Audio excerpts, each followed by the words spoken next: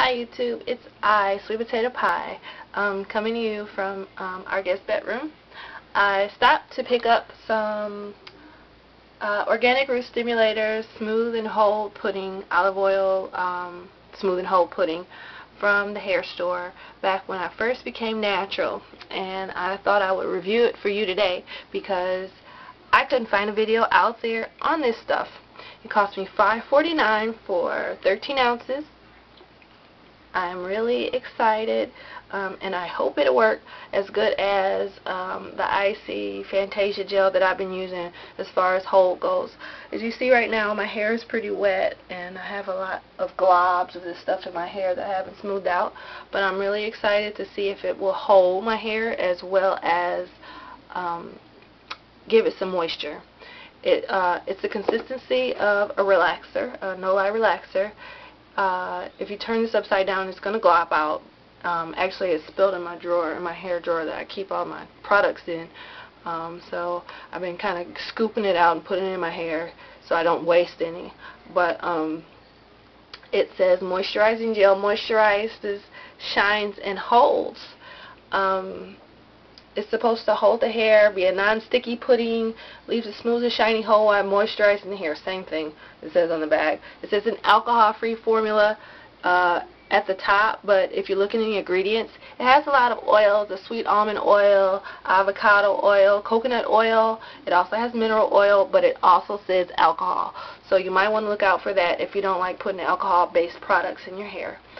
Um, I just washed my hair, uh, well not fully wash my hair. I could just condition my hair. I don't know if you call that a co-wash or a no-poo, whatever the term is that you guys use out there. But um, I just use conditioner in my hair and uh, my Denman brush, detangled, massage my scalp and rinsed it out.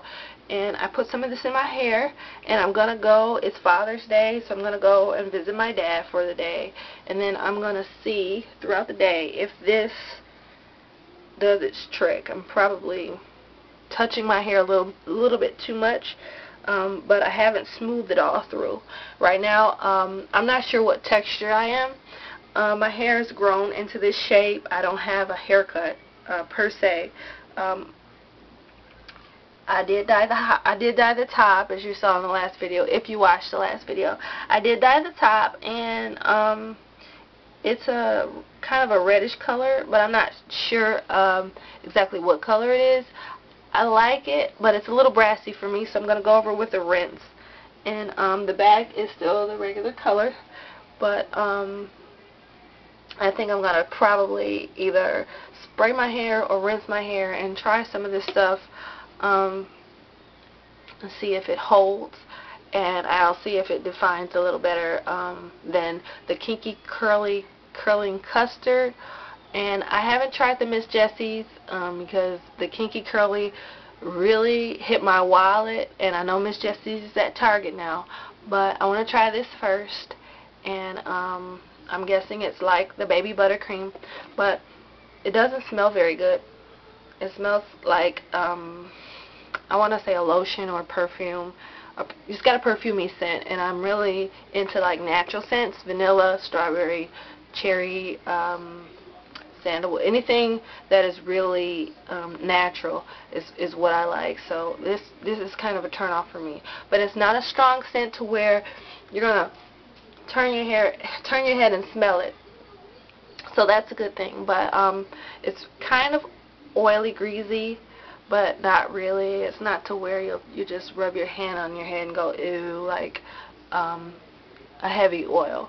But uh, it is more. It, it does moisturize and I tried it yesterday on a frohawk and it didn't hold didn't hold my hair at all. I had to use my um, Eco Styler gel to hold the sides up um, after I waited about an hour for it to dry with pins in it.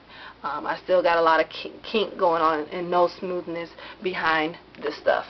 So um, here's the label in case you're wondering exactly what product this is and you want to try it out yourself I will take a picture throughout the day and let you know how my hair turned out and I'll tack it on to the end of this video. I got two months to my six month anniversary and I'm definitely looking forward to the second leg of um, my journey. And I thank you guys for watching and thank you guys for your inspiration and um, have a good Father's Day. Bye.